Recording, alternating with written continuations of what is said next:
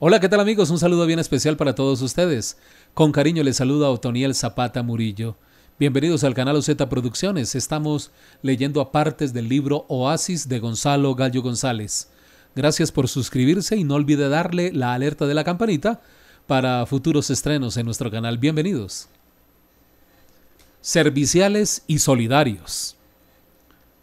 En la época del nazismo, los hombres de las SS eran los más temidos hicieron de la vida una película de terror.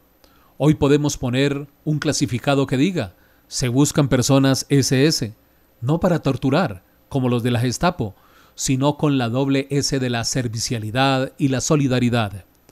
Personas atentas a las necesidades del prójimo, buenos samaritanos que viven para ayudar y para compartir, seres con sensibilidad social que es la esencia de la auténtica religión.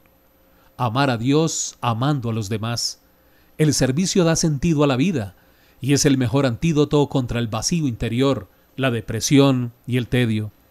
Vivir la vida con un sentido de misión es la clave de la felicidad. Los santos fueron serviciales y solidarios. Benjamin Franklin decía, amar a Dios es servir al prójimo, pero como rezar es más fácil, muchos se contentan solo con eso. Lecciones de amor. La etología es una ciencia nueva que estudia el comportamiento animal, es pródiga en lecciones interesantes. Sabemos así que los delfines nadan en grupos para ayudarse mutuamente y protegerse en el peligro. Si uno enferma durante la travesía, se le acercan otros dos que se colocan a cada lado y lo sostienen al nadar. En esta ayuda se turnan varios hasta que el delfín sana y es capaz de defenderse por sí mismo. Los inteligentes delfines cumplen a la perfección aquello de todos para uno y uno para todos. Se sabe también de la amistad de los delfines con el hombre. En 1962 salvaron a varios náufragos japoneses.